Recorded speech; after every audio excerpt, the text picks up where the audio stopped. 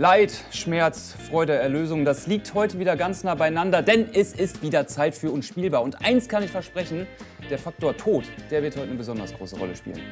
Unspielbar. Ich begrüße euch zu einer neuen Runde Unspielbar und ich begrüße nicht nur euch, sondern auch Christian Kurowski, der Mann, der heute mit bzw. gegen mich spielen wird. Christian, ich freue mich, dass du da bist. Wieso nennst du mich eigentlich Christian? Weißt du, ich muss so ein bisschen den, den strengen Ton jetzt mal durchklingen lassen, ne? dass du dir auch Mühe gibst, dass du weißt, jetzt, jetzt wird's ernst quasi. Es ist wie wenn zu Hause die Mama früher dich mit Vornamen gerufen hat, dann wusstest du, oh, jetzt wird's ernst. Oh Gott, ja, ja, ich freue mich. Jetzt umso mehr. Hast du irgendeine Vermutung, worum es denn gehen könnte? Nee, also so eine richtige Vermutung habe ich nicht. Auf dem Weg äh, ins Office heute Morgen habe ich so ein bisschen überlegt, was könnte es sein. Also wenn man sich es ganz einfach machen wollen würde, wäre hier einfach eine VR-Brille mit einem Horrorspiel. Das wäre ein absolutes Unspielbar für mich. Aber so, ähm, was das für ein Spiel oder überhaupt ein Genre sein könnte, absolut keine Ahnung. Okay, ich gebe dir mal ein paar Tipps. Okay. Ähm, es ist auf jeden Fall eine Art Spiel, die dir, glaube ich, entgegenkommt. Mm. Das würde ich schon behaupten. Das kann jetzt sehr vieles sein, weil ich weiß, du spielst sehr viele Spiele. Ja, jetzt komm, hau raus! Okay. Ich hab Bock! Enthüllen wir es! Oha. Super Meat Boy. Genau, lieber Kuro, du darfst Super Meat Boy spielen. Und was für ein super Level du da spielen darfst, das erklärt uns jetzt eine kleine Max. Dass Super Meat Boy für sich genommen schon ein verdammt schweres Spiel ist, dürfte der ein oder andere ja schon mitbekommen haben. Dass die The Guy Warp Zone das eigentlich so simple Spielprinzip auf die Spitze treibt, vielleicht aber noch nicht. Viel erklären muss man da eigentlich nicht. Koros Aufgabe ist es, sich präzise durch insgesamt drei Bildschirme zu hüpfen. Dabei spielt er aber nicht den berühmten Fleischklops, sondern die Figur The Kid aus dem Freeware-Plattformer I Wanna Be The Guy. Der kleine Junge hat zwar ein leicht anderes Movement, im Kern bleibt's aber bei den Zutaten Laufen und Hüpfen. Klingt einfach, oder? Aber wisst ihr was? Genau das macht's ja so diabolisch. Die Level sind nämlich so designt, dass man jeden Sprung und jede noch so lange Passage absolut präzise ausführen muss. Es gibt quasi keinen Spielraum für Fehler. Also schauen wir doch mal, wie der gute Kuro sich so schlägt. Ja, Kuro, dann, wenn du bereit bist, Ja, nun gut. Ähm, nimm den Controller und lass die Spiele beginnen. okay, ich brauche wahrscheinlich erstmal ein bisschen so Button. Oh, der ist ja super. Ah ja, stimmt, das ist ja schon auch ein bisschen floaty, das Spiel, ne? Okay. Ja. Also ich, ich werde wahrscheinlich. Okay, spiele ich lieber mit dem. Spiele ich lieber mit dem. Ähm, wieso springt er denn so komisch? Ich habe auch nicht viel Platz, um mich äh, auf die Steuerung zu gewöhnen. das stimmt. Mir tut es jetzt schon leid, aber die Person, die das schneiden muss, ne, die, also da muss halt ein Todescounter jetzt.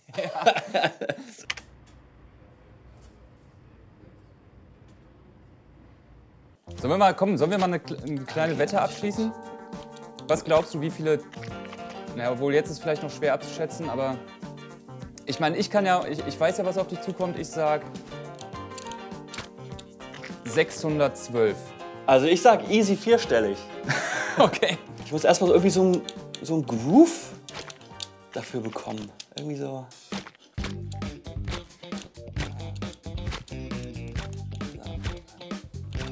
Um Gottes Willen. Das Ding ist, ich bin halt einfach super dickköpfig, ne? Also ich werde das jetzt so lange probieren, bis es klappt. Ich bewundere das ja, dass du so diese. Also, dass du das so mechanisch einfach nur sehen kannst, dass sich das überhaupt nicht ärgert. Wieso springe ich nicht? Ich sehe halt oft Dinge und denke mir so, ah ja, das müsste ich jetzt eigentlich so machen. Aber ähm, das ist, also dieser Gedanke ist, der entsteht nicht in dem Teil meines Gehirns, der halt tatsächlich für die Umsetzung ähm, zustande ist oder zuständig ist, ähm, sondern Ach, ich hab doch Doppelsprung. Ich hab doch einen Doppelsprung. Das ist genau das, was ich meine. Wisst ihr was? Ich werde mir erstmal die Steuerung anschauen. Erstmal Fundamentals. Wie spielt man dieses Spiel? Es gibt A und Richtungen und Sprinten. Ja, Sprinten zum Beispiel. Sprinten ist ja wahrscheinlich auch vielleicht gut. ah, da bin ich ja auch in der Luft schneller. Aha. Ah, okay. Jetzt wird doch. Jetzt wird eventuell ein Schuh draus. Ja, hm. ja, hm. Ja, hm. Ja, hm.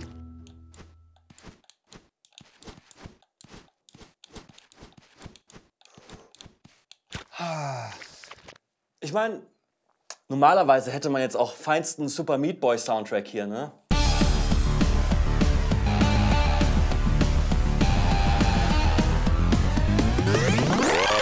Nee, das war nicht so gut. Also meiner Erfahrung nach, man muss halt wirklich alles ziemlich genau treffen. Also es ist wenig Raum zum Korrigieren da. So, ne? Man kann mal ab und zu ein bisschen korrigieren, Ja. aber wenn man es perfekt trifft, dann funktioniert das auch mit diesen Wandsprüngen da ganz gut. Da die Stelle zum Beispiel wie jetzt.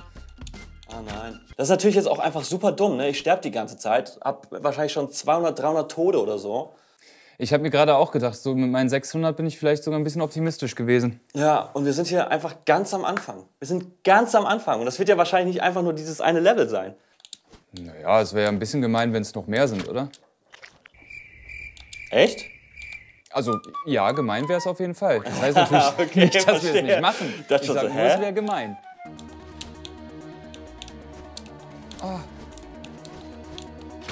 Alter! Das ist halt. Also man muss ja quasi am Anfang einmal hoch, dann lässt man sich fallen und dann nochmal hoch. Und das zweite Mal hoch ist ja ein bisschen schmaler als das erste Mal. Tatsache. Es ist wirklich schmaler. Ja, ja, genau. Und dadurch verändert sich natürlich das Timing alles ein bisschen. Ja, schau an, das ist mir bis jetzt noch gar nicht aufgefallen. Man muss es eigentlich nur einmal schaffen. Das stimmt. Also es ist eigentlich sehr, sehr simpel. Ich weiß gar nicht, was du hast. Du musst es eigentlich nur einmal schaffen. Das Spiel hat drei Knöpfe. Ja, Das ist das ne? Problem. Ich kann dir auch mal einen Tipp geben, Kuro, ne? Nee, ich will keine Tipps. Noch nicht.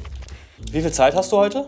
Kuro, ich habe so viel Zeit, wie du brauchst, damit du dich am Ende des Tages gut fühlst und wir glücklich in den Sonnenuntergang gehen oder Sonnenaufgang gehen können. Schauen wir mal, was passiert. Ja, die, ich wollte gerade sagen, die Frage ist, welcher Tag? Ne?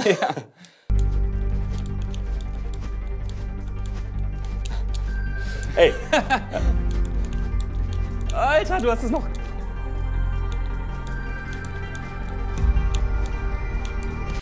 oh, jetzt muss ich erstmal wieder blinzeln. Wie springe ich da? Ich Mit A. Nochmal so stoppen. Stark. Einen kleinen Tipp kann ich dir noch geben an der ähm, zweiten nach oben Stelle. Ja. Es bietet sich da an, einen Doppelsprung quasi an der linken Wand ganz unten zu machen. Ja, das habe ich auch gedacht. Entweder an der linken Wand ganz unten oder vielleicht noch an der ersten, äh, an, der, an der Stelle danach auf der rechten Seite. Ja, das funktioniert glaube ich schon nicht mehr wegen der äh, Stacheln auf der gegenüberliegenden Seite dann. Da genau, da den Doppelsprung, genau. Ja, ja, ja. mhm. Was meinst du, wie oft hast du schon probiert, so vom Bauchgefühl? Bestimmt 500 Mal. Meinst du? Ja. Ey, ihr könnt auch irgendwann einfach alle gehen und ich mach das dann. Nein, Kuro, wir schaffen das hier zusammen. Wir sind hier ein Team. Zumindest fühle ich, glaube ich, die Steuerung ein bisschen besser jetzt.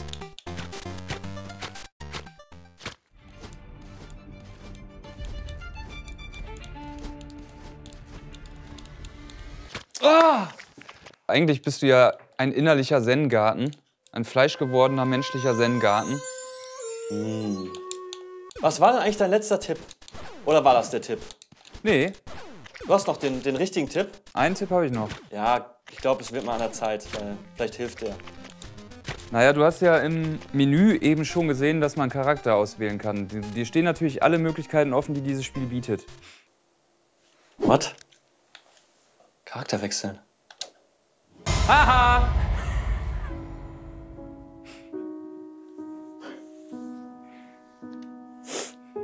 Nicht schlecht, Chris. Ja, es tut mir auch ein bisschen leid. Es tut mir auch ein bisschen leid. Aber Ich, be ich bezahle dir den nächsten Döner, jetzt habe ich ein schlechtes Gewissen. Nee, nee, alles gut. Das war, der, das, also das war dein Ja, letzter das war Tipp. Tipp. Es war eine lange vorbereitete Falle. Ich habe wirklich gedacht, so jetzt kommt irgendwas, was mir hilft. Ja. Das war echt so ein Strohhalm, wo ich dachte, so, ah, geil.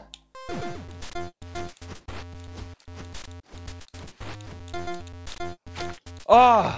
Aber da, das Ja. sind die kleinen Erfolgsmomente, die kleinen Stöckchen, an denen man sich hochziehen kann. Okay. Tut die Hand weh? Ja, sie wird so langsam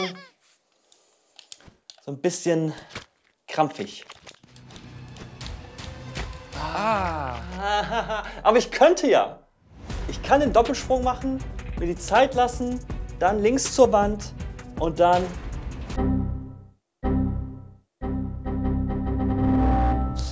Ja, und dann? Wann springe ich da ab? Also da braucht man ja auf jeden Fall einen Double Jump, um bis zum Ende zu kommen. Aber schon kurz vor knapp, ne? Würde ich, sagen. Ich würde auch sagen, letzte Sekunde abspringen und A vielleicht auch nicht ganz so lange gedrückt halten, dass man nicht so stark Ja. an Höhe gewinnt. Geh näher. Wieso, wieso will ich da nicht an die Wand? Einmal kurz durchatmen. Ja, jetzt kickt die Ungeduld rein. Jetzt, jetzt bist du Ja, ich selbst bin dein Feind. richtig ungeduldig gerade. Ja. Ja. Okay, ich lege kurz den Controller ab. Kurze Pause, kurz durchatmen. Einmal schütteln. kurz. Zugegeben, bevor es hell wird, ist es am dunkelsten. Aber ich bin jetzt langsam mal bereit dafür, dass es heller wird. Und nur ich habe es in der Hand. Mehr ist es nicht.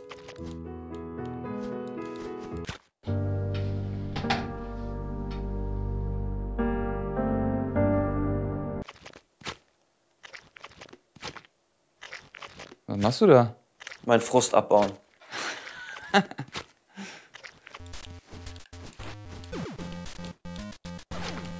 ah, trau ich mich. Dann mach doch einfach diesen Doppelsprung. Mach ihn doch einfach. Wirst du jemals wieder in irgendeinem Spiel einen Doppelsprung machen können?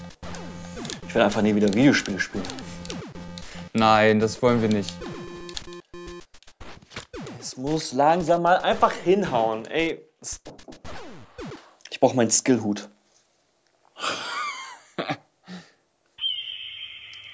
Howdy, Partner. Ich setze ihn mal ab. Mal gucken, was passiert. Ich kenne diverse Leute, die haben es probiert und die haben es nicht geschafft. Ah! Okay. Oh, und vor allem, wenn jetzt was passiert, dann ist es noch mal so viel ärgerlich. Also, ich sag einem, ja.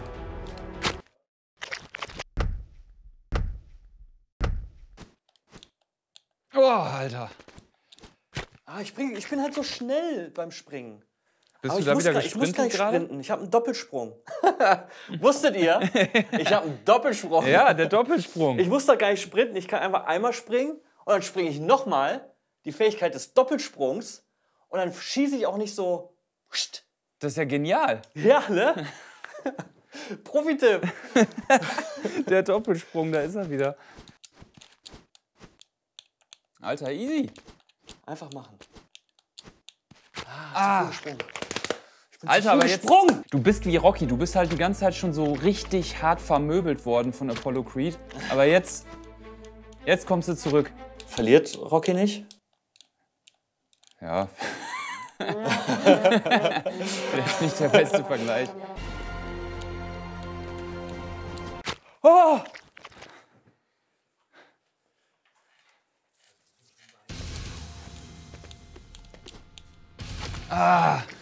muss einfach nur. Ich hätte da einfach nur springen müssen. Wieso springe ich nicht, Chris? Wieso springe ich nicht?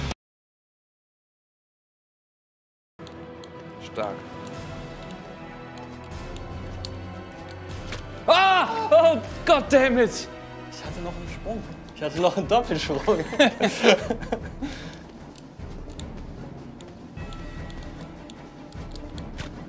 Oh Gott! Okay, ich habe gerade mal geguckt, nur mal so als Tipp, in, der, in dem Playthrough, wo ich es gesehen habe, haben sie zwei kleine Sprünge gemacht. Also mit Doppelsprung. Doppelsprung ist die Lösung, wie immer. Mit Sprinten? Habe ich nicht gesehen, weiß nicht. Ähm, ja.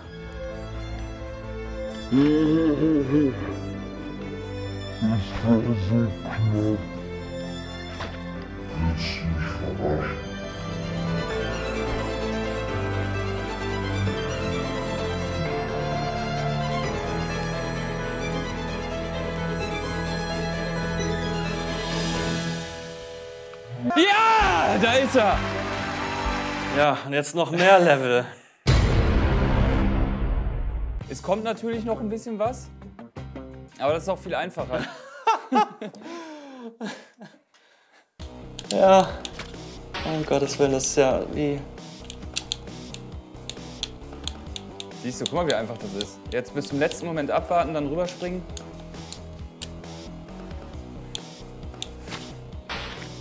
Lol. Ah.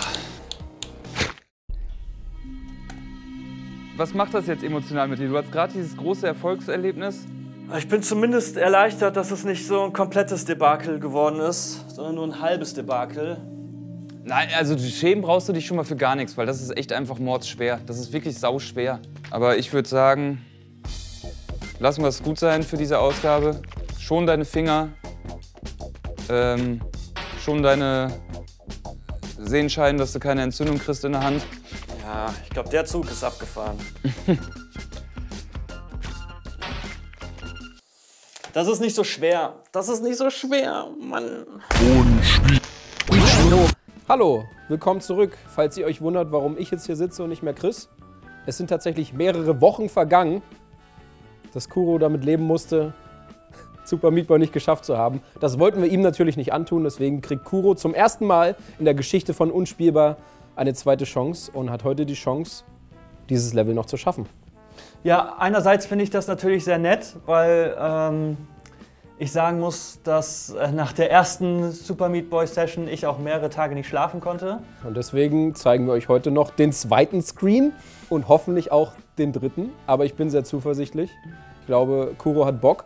Kuro hat neue Energie getankt und rockt das Ding jetzt. Ich bin heute hier auch gar nicht da, um irgendwie Blödsinn zu labern. Ich möchte Kuro unterstützen. Auch weil ich mich ein bisschen schlecht fühle, dass ich dieses Spiel hier äh, in die Runde geworfen habe. Ich habe aber gesagt, Vorsicht, das ist sehr, sehr schwer. Das können wir, glaube ich, nicht machen. Wenn das wer schafft, dann aber Kuro, habe ich auch gesagt. Und äh, ich glaube, das stimmt nach wie vor und das werden wir heute sehen. Ja. Witziger Fun Fact noch: Wir mussten ja noch mal bis zu dieser, Stelle, zu dieser Stelle spielen. Das war auch noch mal sehr schön. Haben wir euch aber erspart tatsächlich, weil. Ne? Aber du kannst den Leuten ruhig sagen, wie schnell du das geschafft hast. Ja, es hat jetzt zehn Minuten gedauert. Na, siehst du. Eine Stunde. Das hätte ruhig beim ersten Teil so sein können. Ich finde, äh, der Screen ist weniger furchteinflößend als ähm, der erste Screen. Das ist jetzt auch, ah, ist auch enger, ne? Ja. Ich glaube, du musst hier einfach durchballern. Bis zum Anschlag den Stick. Oh. Sehr schön. Okay. Sehr schön. Oh. Ja, das, das sieht jetzt wiederum sehr ekelhaft aus, ehrlich gesagt. Ja, wie, äh, Ja.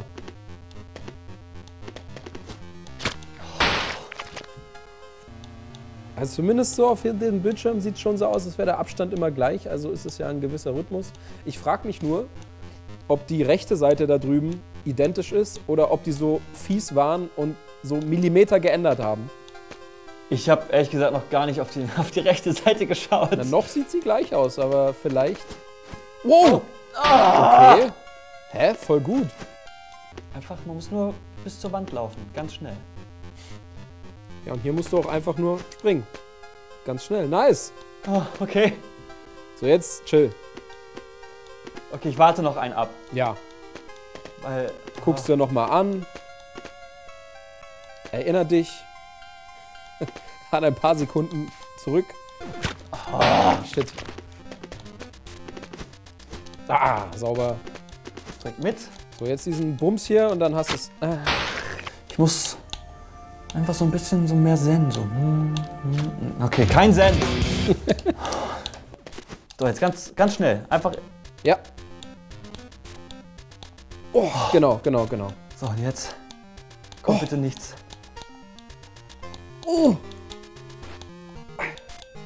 Jawohl! Was? Ach, guck mal, das, sieht, das ist doch auch einfach.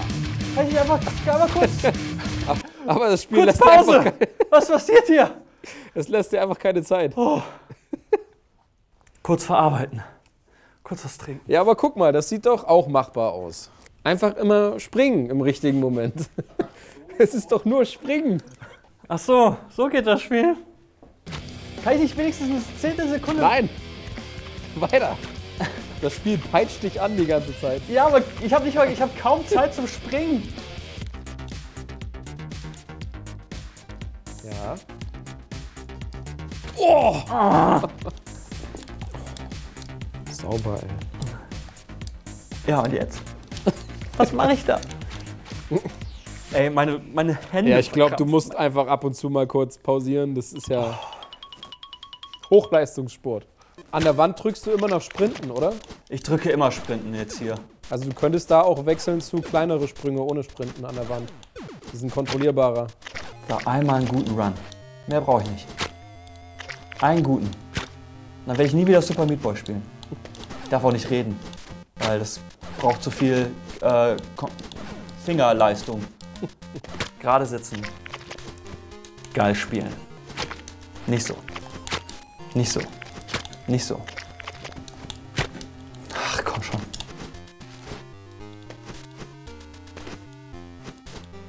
Oh. Nein, Ja, aber Rekord, das ist doch geil. Fortschritt ist geil. Für die untere Etage habe ich eine Routine, mehr oder weniger. Da weiß ich, wo ich sein möchte, wenn ich springe. Und das habe ich hier nicht. Und dann springe ich doof. Hier Speedrun. Zack, zack. Zack, John Wick. Na, okay, vielleicht sollte ich das lassen. Nein, wieso? Wieso? Springe ich da doppelt? Weil, weißt, weißt du warum? Ja, Weil ich warum? die ganze Zeit doppelt springe. Ich kann nicht mehr normal springen. Dein Daumen kann einfach keine andere Bewegung mehr machen. Ja. Nein. Ja,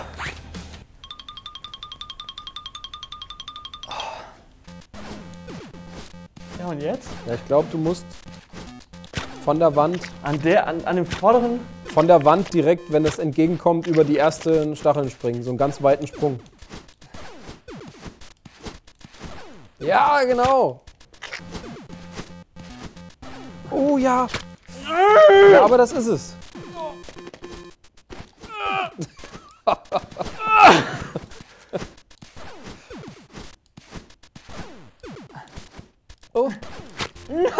kann ich doch einmal oben bleiben. Sprung. Da muss ich doch nicht. Wieso gibt's hier überhaupt Stacheln? Warum tötet mich das oben da überhaupt? Wieso kann das nicht physikbasiert sein, dieses Spiel? Wieso kann ich nicht einfach einen Schritt in den Hintergrund machen? Was passiert hier gerade? Alter. Oh. Oh Mann, schon wieder. Das Leben ist schön. Meistens. Oft zumindest. Oh. Nein. Bleib oben! Kuro! Du musst einfach erstmal einen oben bleiben. Das war komplett doof. Ja, das ist mein, meine Hand ist so verkrampft. Äh. Ich muss näher. Es muss quasi Vollbild sein für mich. Oh, es scheint zu funktionieren. Oh. Setz dich noch näher ran. Das scheint der Trick zu sein.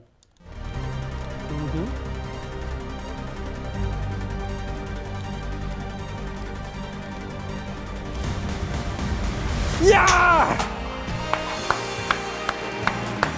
Stark. Ist mir egal! Ich hab's geschafft! Ich werde nie wieder, nie wieder werde ich Super Meat Boy spielen. Äh, ich fühle mich sehr gut. Ich möchte natürlich an, Stelle, an erster Stelle Gott danken. Ohne Gott wäre ich natürlich jetzt nicht hier. Ähm, dann natürlich meine Eltern, also zumindest mütterlicherseits, ähm, für die Jahre, jahrelange Unterstützung. Und natürlich auch hier äh, das ganze Team, das an mich geglaubt hat und mir diese zweite Chance gegeben hat. Äh, ohne euch wäre ich nicht äh, hier auch heute, sondern wahrscheinlich jetzt schon zu Hause und hätte Feierabend. Aber gut! ähm, Stark. danke.